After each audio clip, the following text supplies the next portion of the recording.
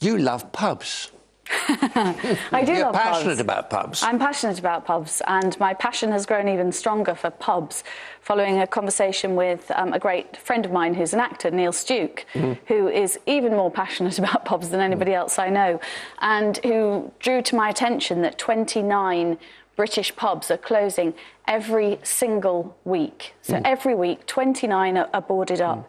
And it's not because of cheap supermarket alcohol and changing drink drive laws and changing demographics, etc., etc., etc. There's a, a perfect storm that would take me months to really explain properly, but a combination of very weak planning laws across Britain.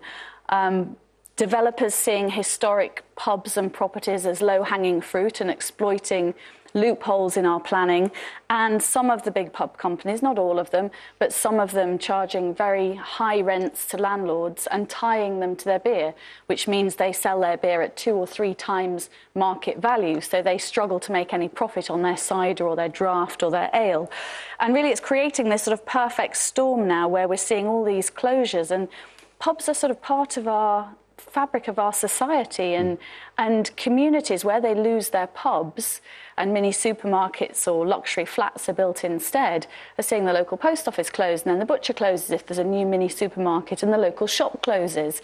We've got two examples at the moment of pubs in Kent. One was built in 1250, so it's been a pub for 750 years. The other's 15th century.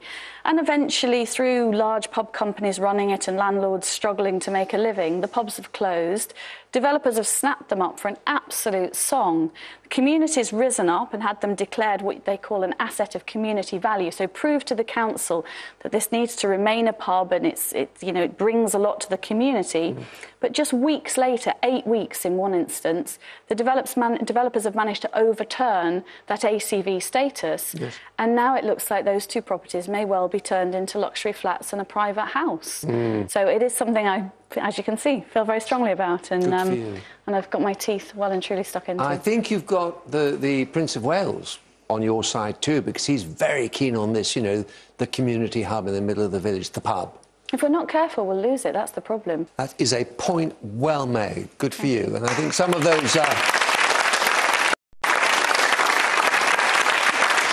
big companies, you know, I think I'm right in saying that one in every three pints pulled in the world is, is uh, the property of one big company. SAB Miller, I think it's called. It's fantastic. One pint in three. That's extraordinary. Well, the laws, I think, will change later this year. Well, more power to your elbow, as they say. well It means I've had to spend a lot of times in pubs doing research, of course. It- well, it's no hardship.